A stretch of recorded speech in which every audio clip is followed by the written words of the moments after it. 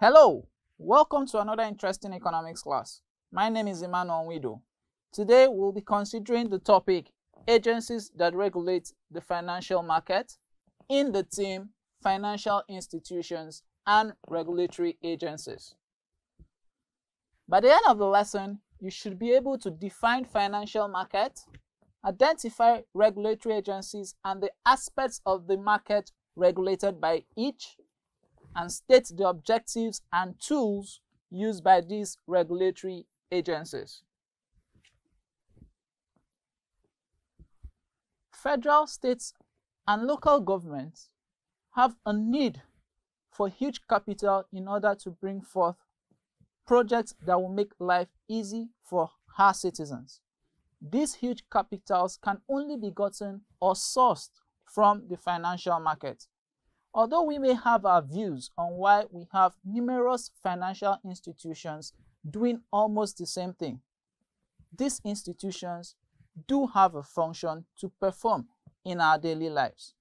What exactly is a financial market? A financial market is a market in which people trade financial securities and derivatives at low transaction cost. These financial securities ranges from stocks, shares, and bonds, and they are regulated by institutions. Financial institutions cut across a broad range of business operations within the financial service sector, including banks, trust companies, broker firms, and investment dealers. Now, virtually everyone living in developed countries have a need for the financial market. Some of the financial institutions that regulate the financial market, especially in Nigeria, are the Federal Ministry of Finance, the Central Bank of Nigeria, Nigeria Deposit Insurance Corporation, Securities and Exchange Commission, and lastly, National Insurance Commission. Let's take a look at these institutions one after the other the Federal Ministry of Finance. This ministry was established in 1958 to replace the Finance Department. The ministry is responsible for the control of Nigeria's public finance. Some of these functions include preparing annual estimates of revenue and expenditures of the federal government.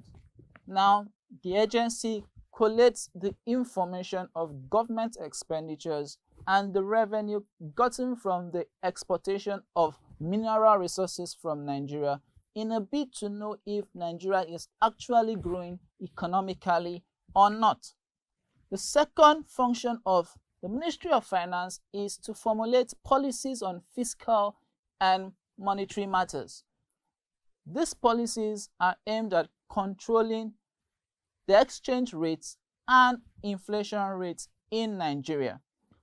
The next function of the Ministry of Finance is mobilizing domestic and external financial resources through both internal and external financial institutions for development purposes. Now, this they do by collecting money, not in physical form, but the actual value of money traded in the stock market for government purposes.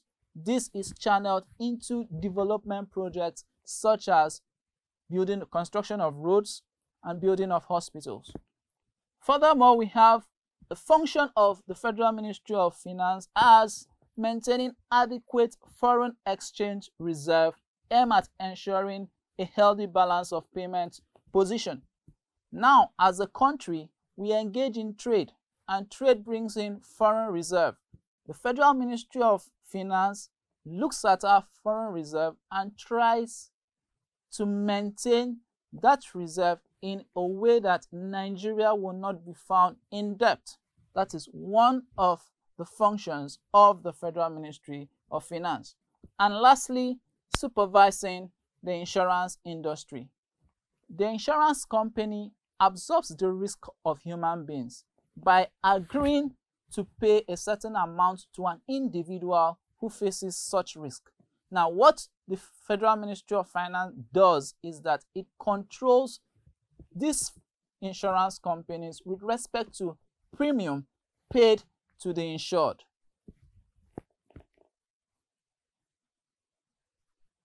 The next financial institution that regulates the financial market is the Central Bank of Nigeria. This bank is the apex monetary authority of Nigeria. Established by the CBN Act of 1958 and commenced operation on 1st July 1959. This bank is headed by the governor of the central bank and it is charged with the responsibility of administering the Banks and Other Financial Institutions Act of 1991 as amended with the sole aim of ensuring that these financial institutions provide the best services to those who use them. You will agree with me that if financial market is left uncontrolled, then certain individuals might infiltrate into the financial market and make it difficult for people to actually use them. What are the objectives of the central bank? Number one, it is to maintain external reserves by safeguarding the international value of the legal tender. By that we mean that the central bank is charged with the responsibility of making sure that the legal tender can compete with its rivals in terms of currency. That means we are looking at, in our situation, Nigeria, and our currency being Naira, competing with other currencies such as the dollar and the euros in terms of exchange rate. The second objective of the central bank is to provide economic and financial advice to the federal government. This they do to ensure that the federal government does not in any way use its resources in projects that will not bring in profit. The central bank provides advice on projects the government can venture into in order to improve its foreign reserve.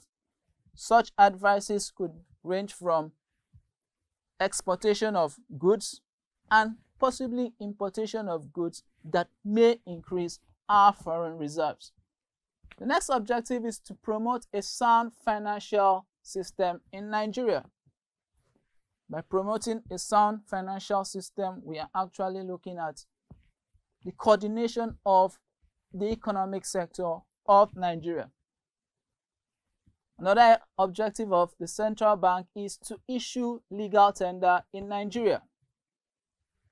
The central bank is the only institution that has the right to issue the naira to the public. No other institution in Nigeria has such right. Furthermore, an objective of the CBN is to ensure monetary and price stability. This means that with the power vested on the Naira from the CBN, one Naira in Lagos should be equivalent to one Naira in Kano. That's price stability. And we are also looking at it in the sense that our one Naira in Lagos should be able to get the same quantity of goods in another location in the same country. Also, an objective of the CBN is to monitor the trading activities of banking and other financial institutions. The money we put into our banks are also used for businesses. The central bank regulates those activities in order to ensure that these institutions do not engage in businesses that will make the customers of those institutions suffer. And lastly, an objective of the central bank is to regulate the financial activities of commercial banks. This they do by issuing them an act which serves as rules and regulations they must follow in order to run business as financial markets in Nigeria. The second agency that controls financial markets is one known as the Nigeria Deposit Insurance Corporation. This agency is an independent government agency charged with the responsibility of protecting depositors and guaranteeing payment of insured funds in the event of failure of insured institutions. In this case, we are looking at an agency that is supposed to regulate or that is charged with the responsibility of regulating insurance companies. One of the functions of NDIC is ensuring all deposit liabilities of licensed banks and such other financial institutions operating in Nigeria. That means you go into an insurance company, you get yourself insured. The insurance company you, which you have bought their policy from has to also go to the NDIC in order to get insured so that you do not lose your money. Secondly, it has the function of giving assistance to insured institutions in the interest of depositors in case of imminent or actual financial difficulties of banks, particularly where suspension of payment is threatened. So the NDIC as a financial institution that regulates the financial market assists financial markets such as banks and insurance companies in giving them maybe loan in order for them not to fold and then those who deposited money with them end up losing. Also, the key function of NDIC is guaranteeing payments to depositors in case of imminent or actual suspension of payments by insured institutions up to the maximum. What does this mean? That in a situation where an insurance company folds up, closes down, NDIC ensures that those who took insurance policies from these institutions are paid their premium to the fullest. Another important function of NDIC is assisting in the formulation and implementation of monetary policies so as to ensure sound banking practices and fair competition among insured institutions in the country. So NDIC, along with other financial institutions, formulate policies that help monitor the activities of insurance companies or insured institutions. And lastly, the function of Nigeria Deposit Insurance Corporation NDIC is pursuing other measures necessary to achieve the functions of the corporation, provided that such measures and actions are not pungent to the objects of the corporation. This means that NDIC has a function to regulate measures necessary to achieve the functions of this corporation. That means once in a while, they have to go in and check what exactly these institutions are doing. Are they following the rules and objectives of the NDIC? Another agency that regulates the financial markets is the Securities and Exchange Commission, SEC. This commission is the main regulatory institution of Nigeria and it is supervised by the Ministry of Finance. It maintains surveillance over the Nigerian Stock Exchange to ensure that there is no trading abuse. This institution has two major functions. The first is regulating the capital market with a view of protecting investors. Since this has to do with the trading of stocks, shares, and bonds, the SEC regulates the activities of the Exchange Commission, that is the Stock Exchange Commission, to ensure that stocks traded at the exchange market are done within the terms and conditions of the Securities and Exchange Commission. The last function of the Securities and Exchange Commission is to develop the capital market in order to enhance its allocative efficiency and pave the way for a private sector-led economy. Now, you will agree with me that shares, bonds are ways through which government uses to generate funds for capital projects. Now, what SEC does is that it regulates the trading activities such that those trading activities will lead to a growth in the Nigerian economy. Let's proceed to looking at another agency that regulates the financial market called the National Insurance Commission, NAICOM.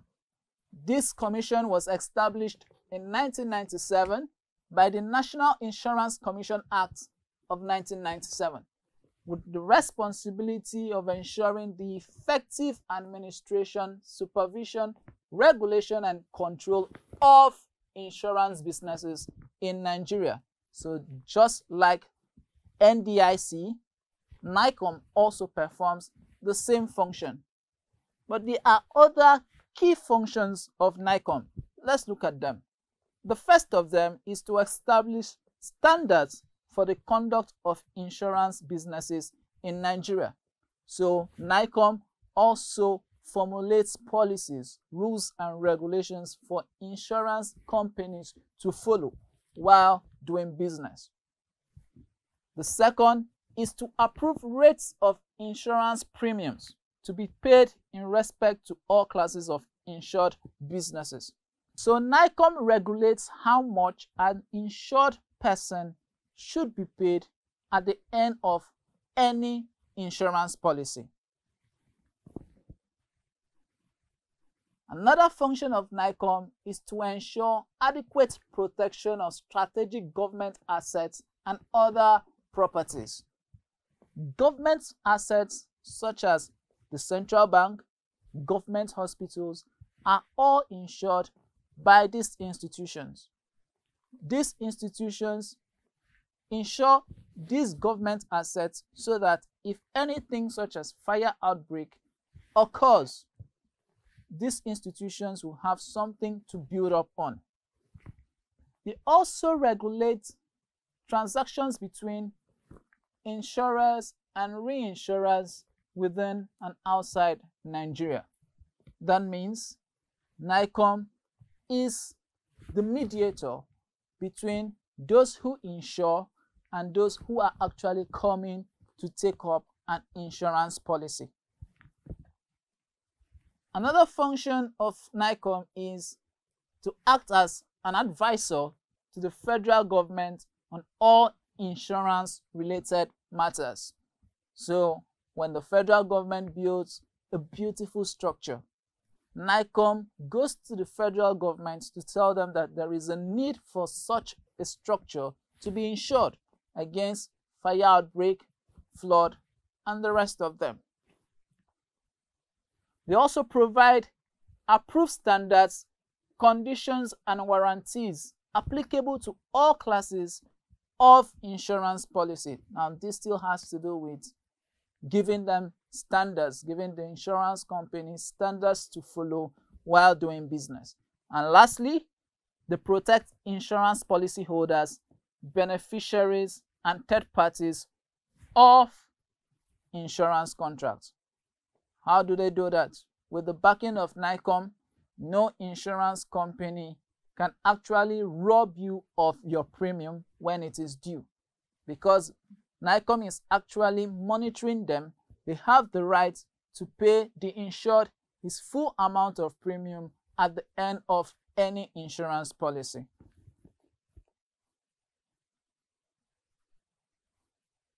The last but not the least of the institutions that regulate the financial market is the Debt Management Office. The DMO was established on 4th of October 2000 to centrally coordinate the management of Nigeria's debt. This was formally done by various agencies. However, these agencies had inefficiencies as such, there was a need for the Debt Management Office in order to control how much Nigeria borrows and uses for capital projects. Now, what are the functions of DMO? The first of them is providing good debt management practices and policies that will bring positive impact on economic growth and development. So when Nigeria wishes to borrow money from Paris Club, China, and the rest of them, the Debt Management Office has to go to the president and tell him why it is necessary or not necessary for such debt or such loans to be borrowed. Another function of the DMO is achieving positive impact on overall microeconomic management, including monetary and fiscal policies. So when the federal government eventually borrows money, the Debt Management Office ensures that such loans given to the federal government is used for the purpose it was meant for. So the Debt Management Office has a function to monitor the loans the federal government has taken for capital projects. The next function of the Debt Management Office is to consciously avoid debt crisis and achieving an orderly growth and development of the national economy. This means that not all debts taken by a government can bring economic growth.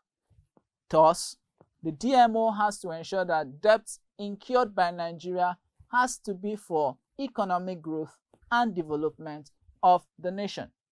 Another function of the Debt Management Office is to improve the nation's borrowing capacity and its ability to manage debt efficiently in promoting economic growth and national development. Now, it is likened to what I just explained before. This means that when a loan is given, the DMO and the federal government has to ensure that it is aimed at economic growth and development. Else, such loans should not be taken. Furthermore, DMO has a function of protecting and promoting a good image of Nigeria as a disciplined and organized nation capable of managing its assets and liabilities.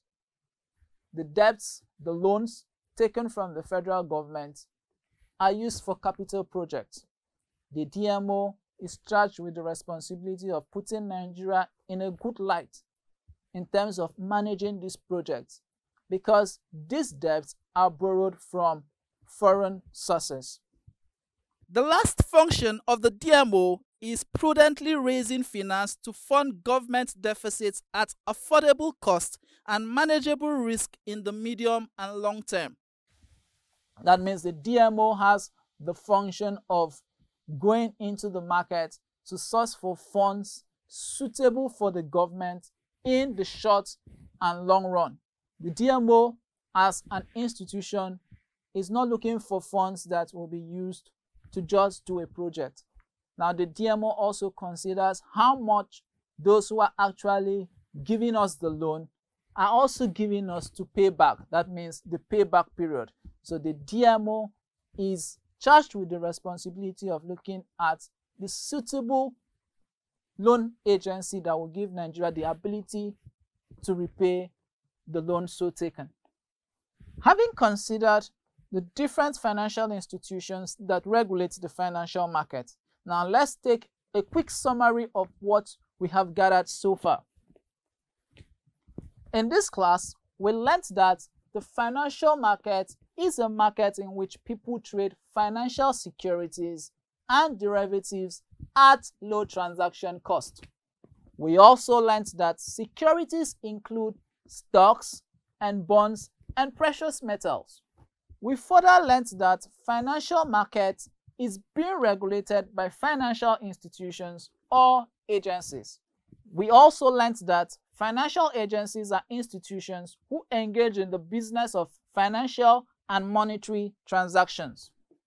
We further learned that some financial institutions that regulate the financial market include the Central Bank of Nigeria, the Security and Exchange Commission, and the Federal Ministry of Finance. Going forward, we learned that the Federal Ministry of Finance is responsible for the management and control of Nigeria's public finance. We further learned that the National Insurance Commission is responsible for the effective administration, supervision, regulation, and control of insurance business in Nigeria. And lastly, we learned that Securities and Exchange Commission maintains surveillance over the Nigerian Stock Exchange with the mandate of ensuring orderly and equitable dealings in securities and protecting the market against insider abuse in trade. Now we have come to the end of our class for today. But before I go, let's take few questions to test how much we have learned in this class. Question 1. Dash is responsible for the management and control of Nigeria's public finance. A. The Central Bank of Nigeria. B. The Federal Ministry of Finance. Or C. The Nigerian Stock Exchange Commission.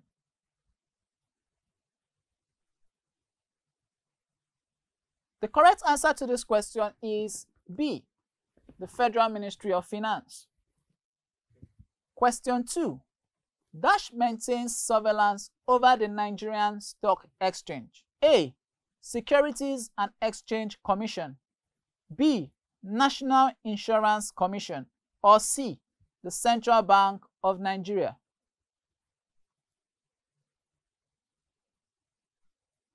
The correct answer to this question is A. Securities and Exchange Commission. At this point, I believe you can now define the financial market, state few institutions that regulate the financial market and their respective functions. Until I see you in another interesting economics class. Bye-bye.